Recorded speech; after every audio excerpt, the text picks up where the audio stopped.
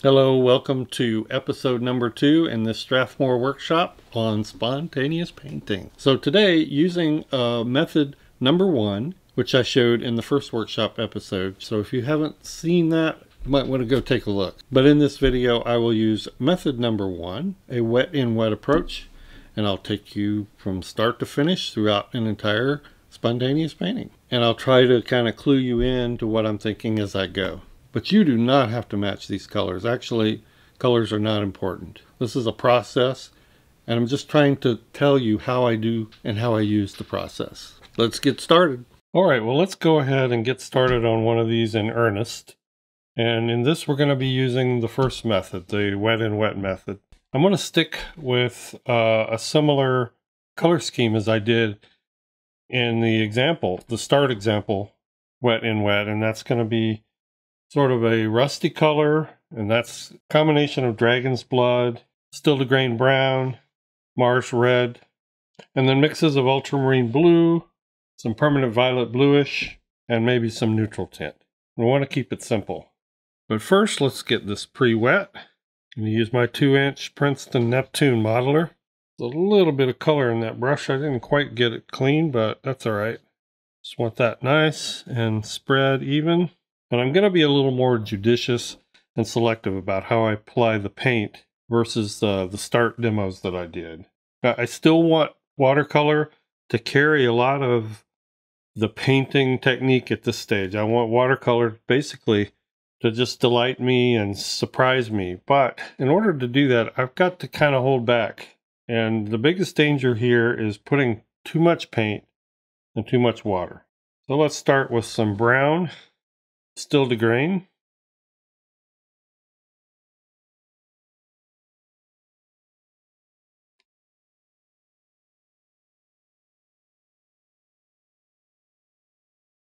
And about the only thing I'm thinking here is compositionally. I just want some kind of balance. But it's going to be at this point very abstract. They're not really trying to paint a landscape per se yet. All right, now let's come in here with some ultramarine blue.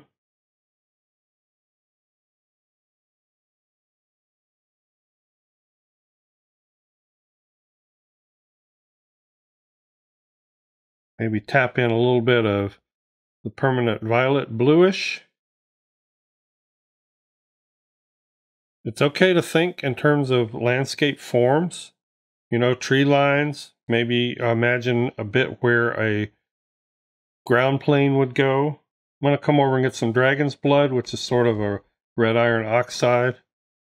And that's just going to be a slightly different hue in uh, that very brown, warm area. Let's go ahead and get some spatter in here.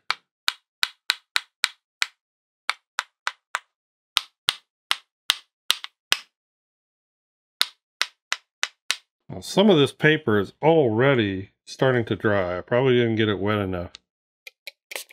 And we probably have enough paint on the paper for now.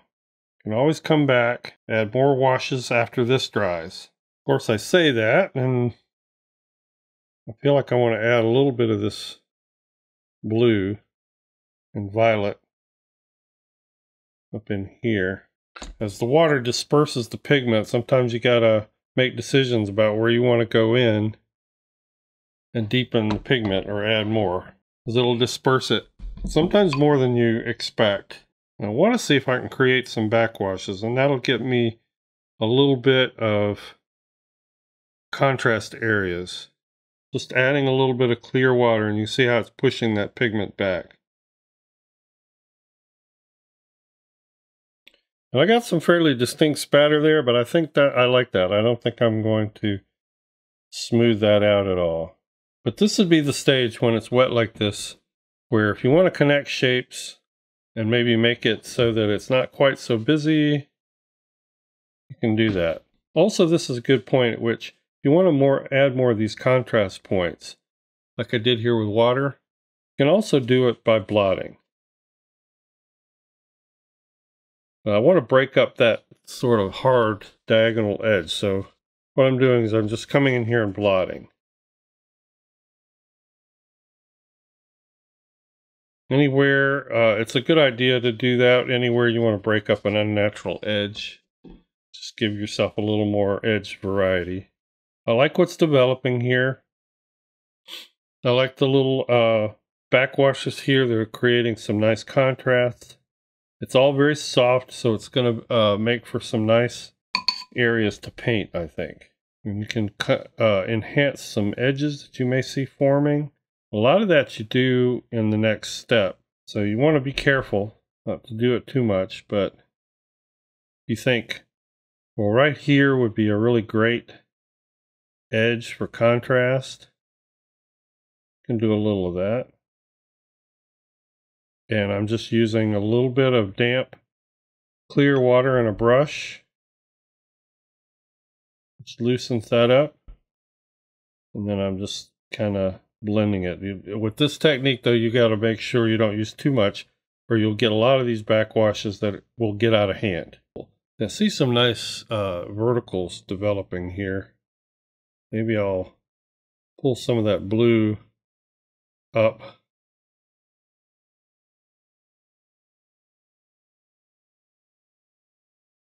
But you got to be careful of overworking. And I know because I have done it many, many times. You see how simple that was? And, and less is really more when you're doing the starts for spontaneous painting. Can't stress that enough. Less is more. You just don't want to get carried away and get too much paint and water on the paper. It's gotten starting to get too dry, so I can't really pick up much. Maybe a little bit there. Anyway, I'm happy. I'm happy with those first washes. That's a good start. Let's let this dry and we'll come back to it. All right, well, we're ready to begin detailing this, and this is the most fun part, I think. But admittedly, it can also be the most intimidating and difficult part. It's the part I get the most questions about. Watercolor has done its thing mostly. You want to utilize what you see here as much as possible. Now, the the question I inevitably get is, Steve, how do you see how do you see your scene? And my answer is always the same. I don't see a scene. I see possibilities, but I don't see a scene yet. What I do is I take one tiny step, and that usually involves uh, edges and contrast. So I try to accentuate edges and contrast. Now, I do want to find a center of interest, and that's probably going to be a little over here, just sort of off center. I could see a stand of trees in there. How I'm going to do that yet, I don't know. Uh, I have a nice edge here that I got started on when I uh, picked up some of that with tissue. So um, a lot of it is making the edges a little more distinct, maybe carrying them over into another area. Now I've got my number eight long round here. I like it because it's got a very sharp point. So if I hold the brush back a bit, I can get a dancy sort of a tip. So I'm going to take that edge around, kind of try to make this form a little more distinct. Now, in order to get that to blend, I need to make it look like part of the, the paint that's already there. So I'm going to blend, softly blend away from that edge. But you want to be matching your colors. Now I'm adding a little bit more neutral tint to this to, so I can subdue that blue a little bit. That blue is really intense. So I'm going to have that ultramarine blue, but I'm also adding a little bit of neutral tint and create a dual edge. So a lot of these decisions I make on the fly. So maybe I want to enhance this edge here, contrast, and create another one up here. Let's we'll just see how that looks. And then blend away from those edges. But I've got a nice shape working here.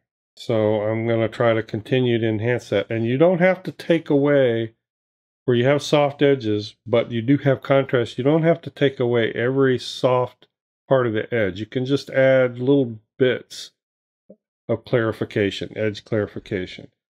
Kind of adds to the mystery, the, the lost and found edges. Now we got some nice shapes here that might make for distinct trees. So I'm going to start adding those. Let's they're kind of spires. So let's make some more or less fir tree type shapes. And notice uh, I'm using the, the thin edge of my, or the thin point of my brush, and I'm holding it back further. That just allows the tip to dance a little more. Gives you a little bit more natural mark making. We got an edge coming down in here, so I may, I'm looking for spots where I can add some very deep contrast. That That's a really good thing, especially in your center of interest area.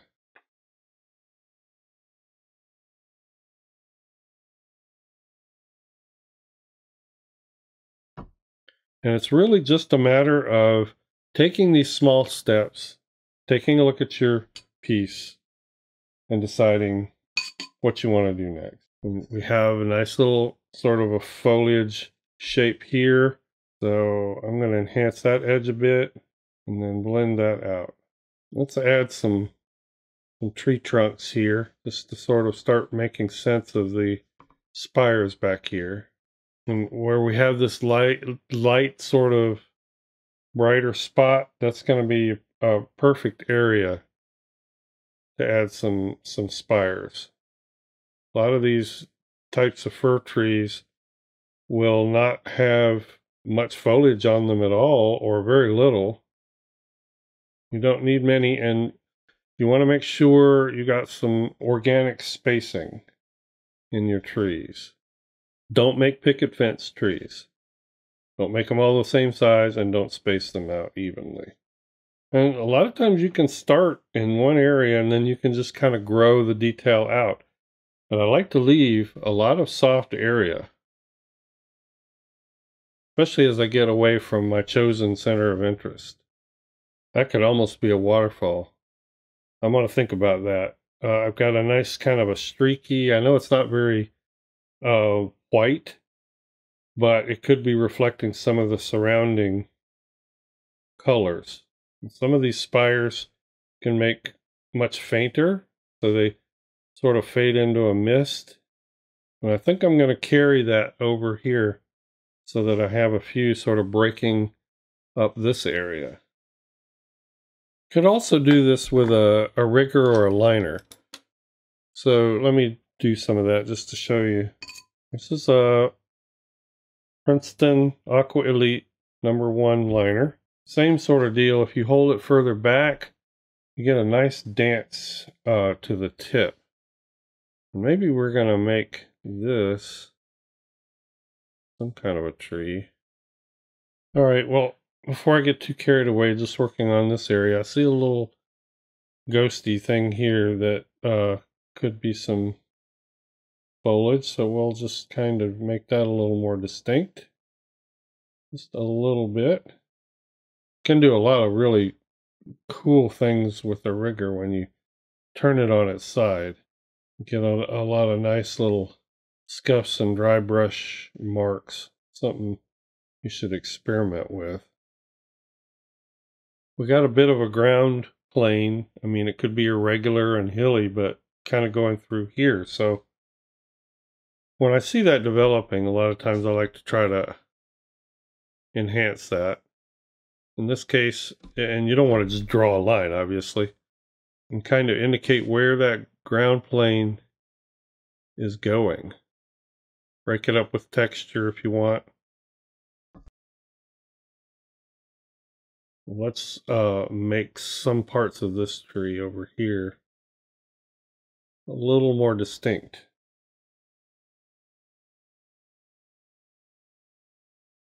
Catch the eye.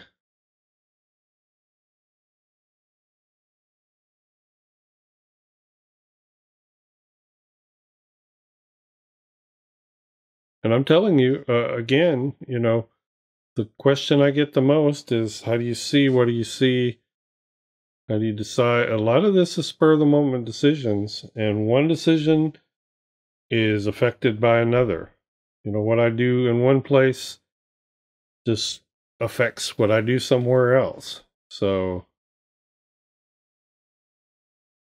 you're not going to be successful with these every time or even right off the bat. You may have to work at it a bit Let's see if we can make this into a waterfall. It's just too irresistible.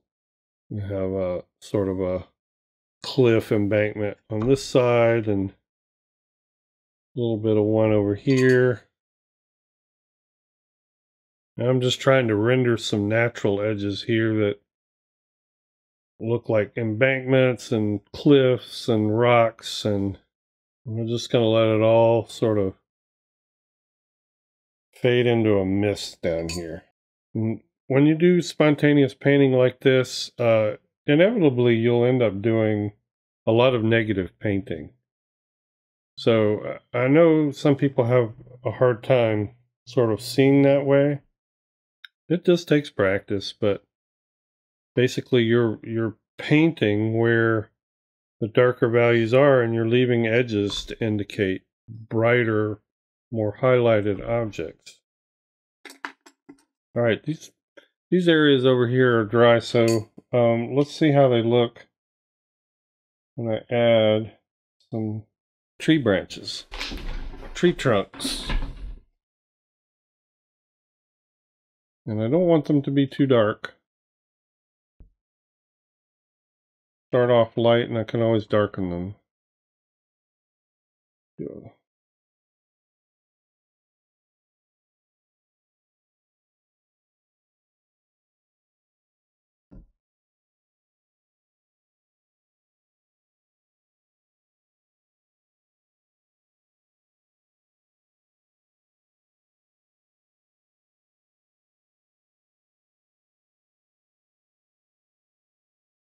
When you're doing this, uh, watch the scale of your trees. I've got these fir trees which look fairly distant, so uh, these here are gonna have are gonna be massive trees, but I don't want to get carried away with too thick of limbs or tree trunks, or they'll look uh, too cartoony. The scale will look wrong.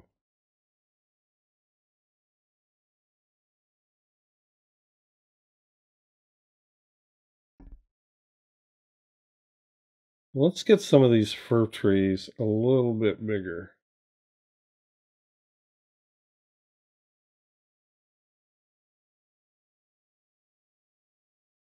I could be doing this with that eight number eight round if I wanted to. Got the fine tip. But I, I kind of like doing the rigger. I'm able to get, I think, more interesting marks.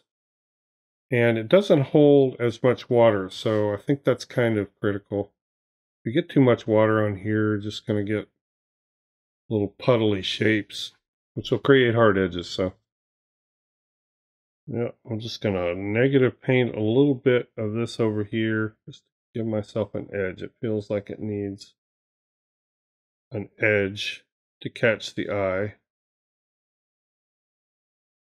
I may just come over here and connect with this shape. Which means I need to kind of blend that out here away from that edge. Just making it up as you go. That's what spontaneous painting is about. And really, honestly, truly, the most important part is not the the picture I end up with, but all of these techniques that I'm practicing. That's how spontaneous painting started for me and has been the most beneficial part. All right, so I hope you can see what I did. I created uh, some more distinct shapes out of what was happening over here.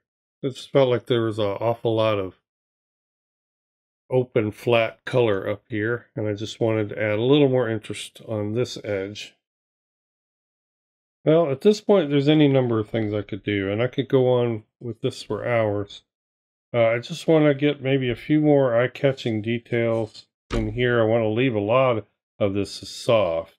I need to, to bring in just little bits maybe of texture to contrast with the softness. It's okay to do like some, like I like to do some little drawn shapes that might look like uh, rocks or rocky edges. Kind of like that.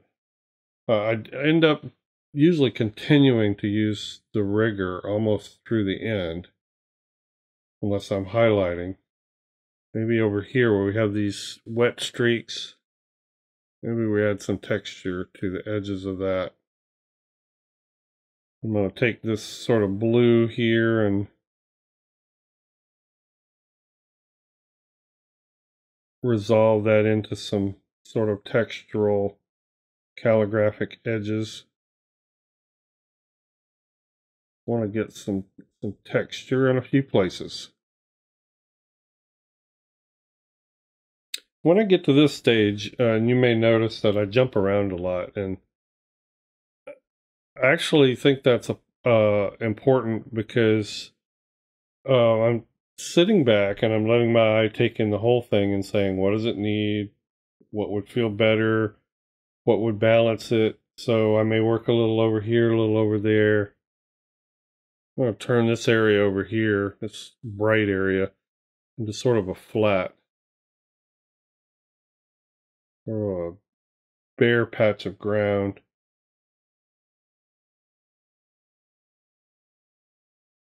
Maybe some little sandy flats. I don't know.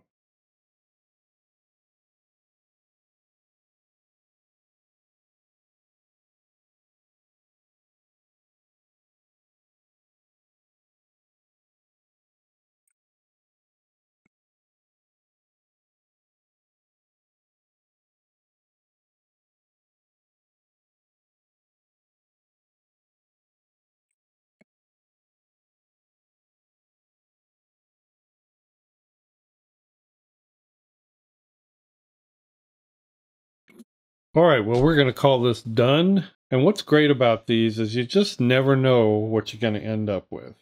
But spontaneous paintings, especially the starts, just make a really good base for you to practice on.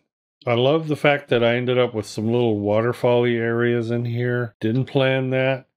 Just kind of delightful to see what happens. And there are parts in here that I painted in, that there wasn't anything to go off of. So sometimes you'll have blank areas and you'll want to paint in like these trees. But let me just suggest that the best way to enjoy spontaneous painting is to think of it as a learning tool and not an automatic landscape generation tool. And not all of these turn out. I've done tons of these, and there have been some that I've been satisfied with. There have been some that I have not been. But I always try to look at it as a learning experience, trying different compositions, trying color schemes, trying techniques for painting trees or rocks or spatter, how to turn spatter into details. I always try to look at this as an experimental process where I learn how to do something.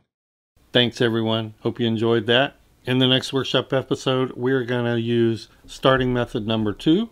And again, we'll go start to finish through an entire spontaneous painting. See you there.